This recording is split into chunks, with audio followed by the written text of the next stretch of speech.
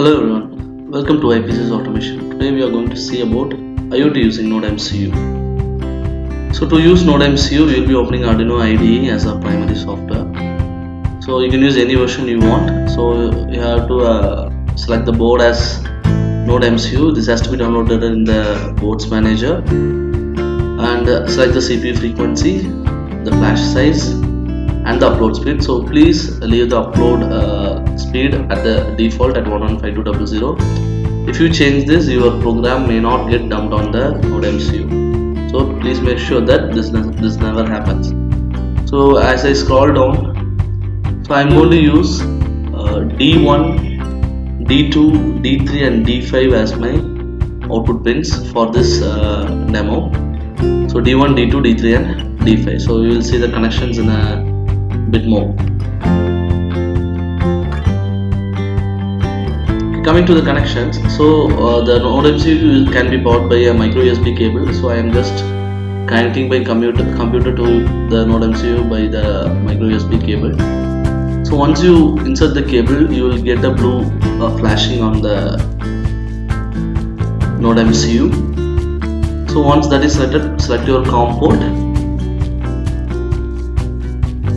and click download so this may take some time as uh, node mcu is an additional module that has been installed on arduino. So it will take some time uh, not like it will not just get compiled as far as in uh, normal arduino program. So once the program gets compiled it will just start to get uploaded.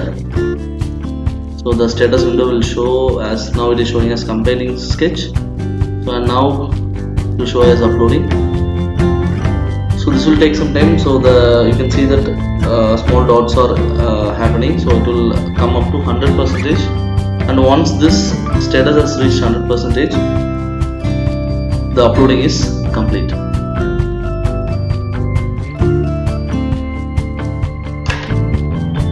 So the program has just got uh, finished uploading. So now we can see the actual demo of how this is going to work. So for the actual demo so I am connecting to my uh, company's Wi-Fi. So it is being connected at IP as uh, 192.168.31 dot something. So for this to work you have to connect your node MCU to a working Wi-Fi with internet as we are going to control it over the cloud. So for the cloud part of the application we will be using Blynk server so I have already configured all the Blynk server and things. As this is a demo I'm not going into those things deeply. So this is our node MCU setup. So the jumper wires are connected is for the D1 D2 D3 and D5 so and this particular board is a node MCU development board that has been developed by IPCS automation. So if you want a board of the same kind you can just inbox me on the comment section so this is the Blynk app. So i have already created a small app uh, for controlling this setup. So you can see all the setups you can create new apps. You can create new projects. So this is the Blynk app. So you can just download it from ios or android app store. So once you create it you have to register in their forum.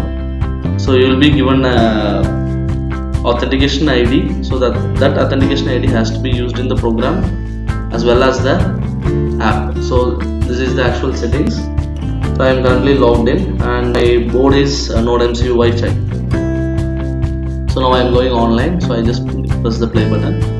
So now when I press the first button my first light on the Node MCU switches on the 4 and the 4 switches on so and sequentially.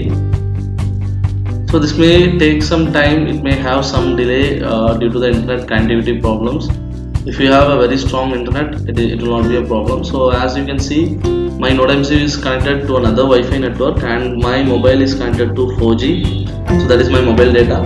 So I am I'm not uh, connecting it through local network. So you can control this board from anywhere from the world. That's it for this short demo. Subscribe this YouTube channel for more videos